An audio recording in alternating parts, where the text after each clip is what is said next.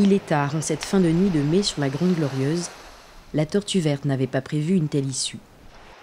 Elle avait longuement observé depuis la rive si le lieu était désert. Alors, seule dans la nuit, elle avait entrepris de remonter la plage, chercher un coin propice et discret, vérifier à nouveau que tout était calme, puis elle avait creusé un trou plus grand qu'elle, et enfin commencé à pondre, œuf après œuf.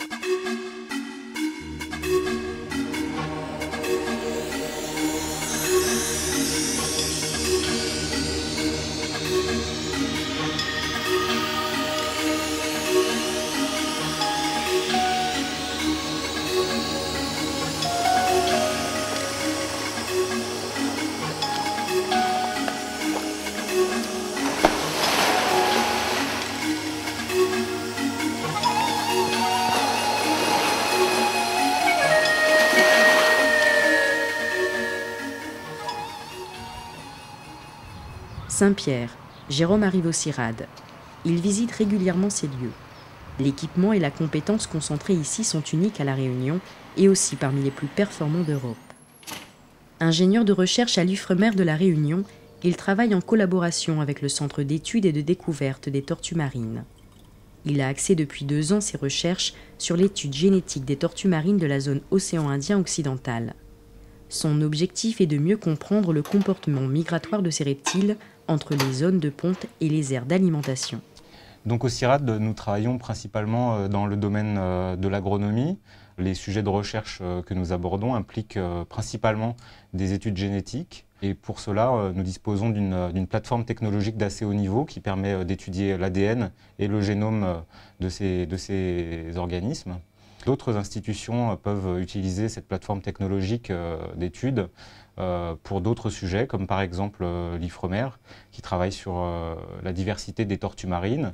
on cherche à comprendre la diversité des tortues marines de l'océan Indien, de façon à mieux pouvoir expliquer leur origine et l'évolution de, ces tortues dans l'océan Indien. De sa mission sur le terrain, Jérôme a ramené des échantillons biologiques dont il va falloir maintenant extraire l'ADN.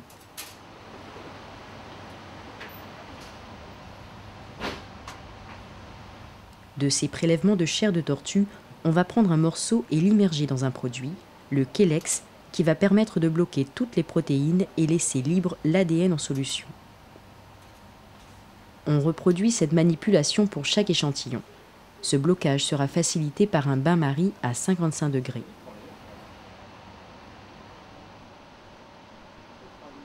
Donc après avoir mis euh, les échantillons dans le bain-marie pendant 3-4 heures, on va les faire centrifuger de manière à ce que toutes les protéines qui ont été bloquées par le produit euh, qu'on a ajouté tombent au fond et que l'ADN reste en suspension au-dessus.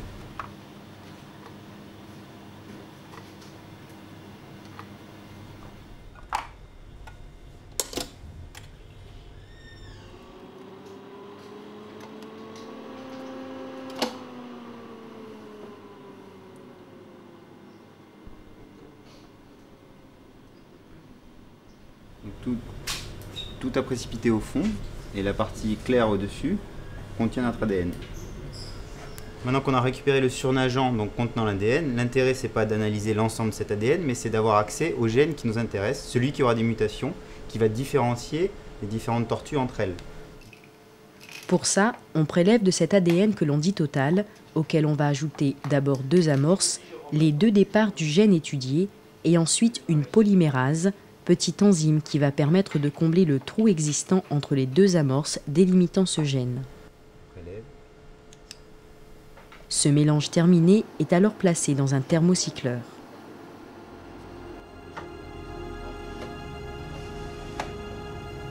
À l'intérieur de la machine, de nombreux cycles de température vont permettre de dupliquer la séquence cible, c'est-à-dire le gène à étudier on chauffe tout d'abord fortement la solution pour rompre l'ADN.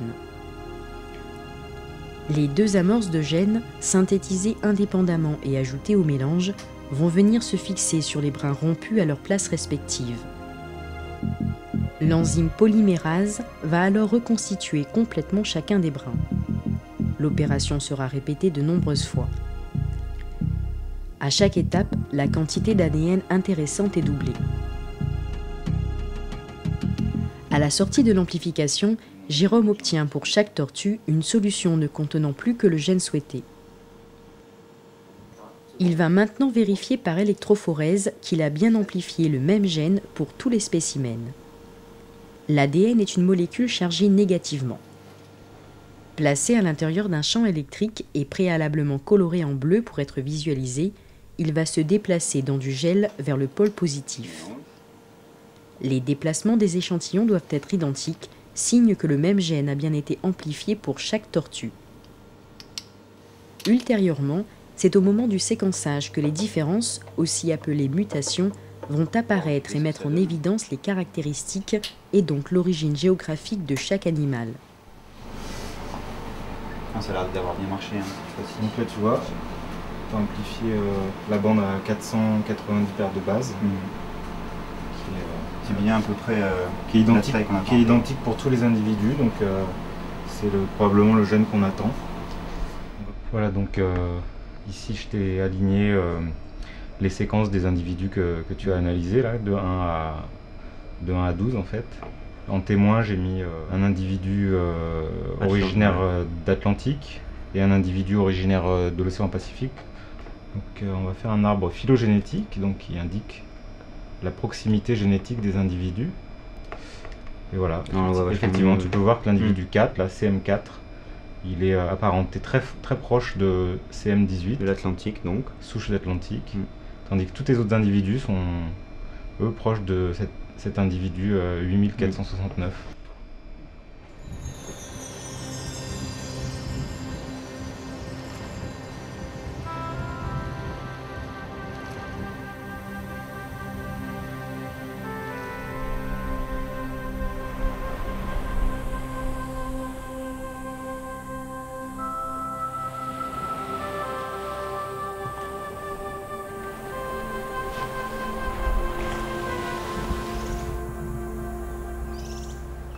Pour son étude, Jérôme doit se rendre régulièrement sur le terrain. Dernière expédition en date, la Grande Glorieuse. Ce petit territoire français est un des principaux sites de ponte de l'océan Indien occidental. Situé à quelques encablures de la pointe nord de Madagascar, cet archipel fait partie des îles éparses. Jérôme espère y récolter une vingtaine de prélèvements supplémentaires qui viendront compléter les données ramenées de précédentes missions. Ici, en pleine saison, plus de 30 tortues montent chaque nuit sur les immenses plages de l'île. Dès la tombée du jour, Jérôme va arpenter le sable blanc dans une partie de cache-cache avec les tortues. Il faut être présent au bon moment et les kilomètres de plage vont s'accumuler jusqu'au petit matin. Jérôme espère au mieux effectuer 5 prélèvements dans sa nuit de travail.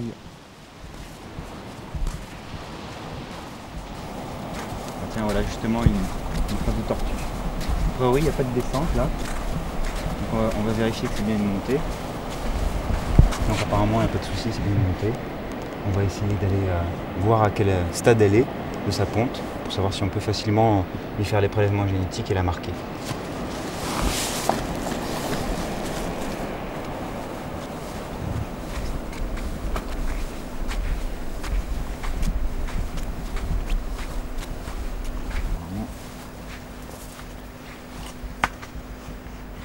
Peut-être un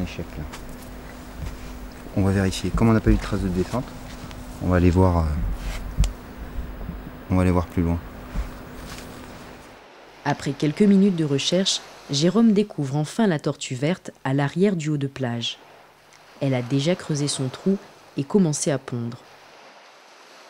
Dès la ponte commencée, l'animal, jusque-là si farouche, devient étranger à tout ce qui se passe autour de lui. Jérôme le sait et n'intervient jamais sur une tortue avant qu'elle n'en soit arrivée à ce stade. Il prépare à l'écart son matériel, scalpel, éprouvette, pince de bagage. Tout doit être accessible rapidement de façon à minimiser au maximum le temps d'intervention sur la tortue.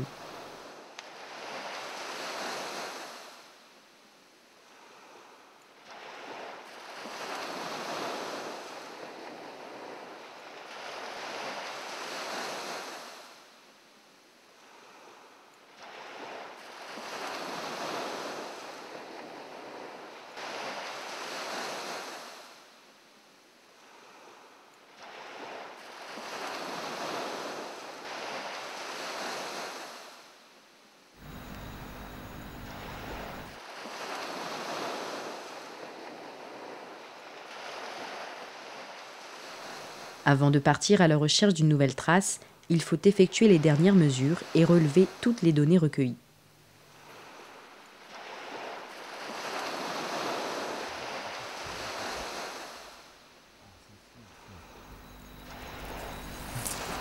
« 105 cm.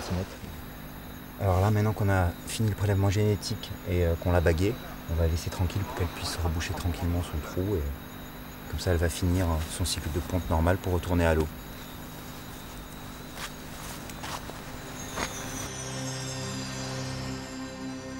Au fond du trou, les œufs reposent maintenant pour deux mois.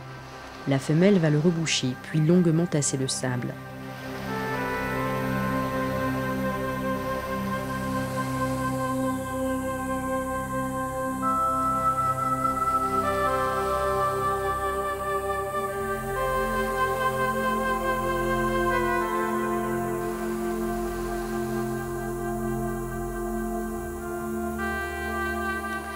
Creusant sans cesse, elle déplace peu à peu l'emplacement, espérant ainsi tromper les éventuels prédateurs sur le lieu exact de la ponte.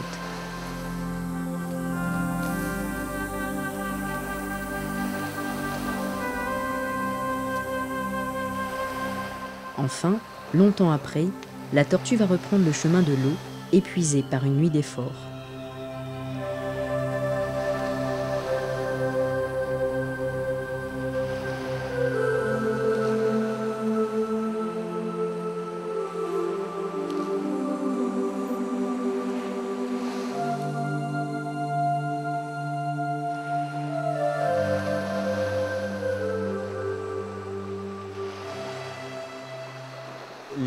Éparses, elles, représentent un, site de prédilection pour les tortues vertes, puisqu'elles sont complètement vierges de toute activité humaine et donc euh, de toute perturbation. Ici, la glangorieuse, elle est particulièrement intéressante parce que euh, donc elle est relativement grande, elle a une grande surface de plage de sable blanc. Et donc les tortues, généralement, arrivent, montent, pondent deux, trois fois en, un mois, puis ensuite repartent quelques années sur leur aire d'alimentation pour euh, constituer des réserves.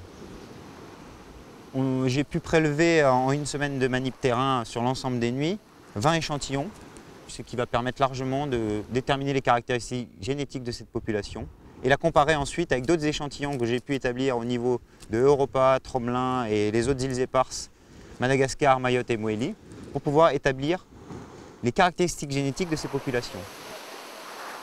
Sa phase de ponte terminée, la tortue verte retrouvera après un repos mérité ses sites d'alimentation. Dans une soixantaine de jours, les œufs écloront et pour les bébés tortues porteurs des mêmes caractères génétiques que leur mère, tout commencera par une ruée vers la vie. Le matériel ramené des Glorieuses, ajouté au précédent, a permis de publier les premières conclusions. Le canal du Mozambique est la seule région connue de cohabitation des tortues vertes ayant des caractéristiques génétiques de la zone atlantique et de la zone indo-pacifique. La présence des tortues atlantiques ici représentées en vert s'estompe fortement en remontant vers le nord. Ce constat est nouveau et prouve que contre toute attente, le cap de Bonne-Espérance n'est pas une barrière environnementale.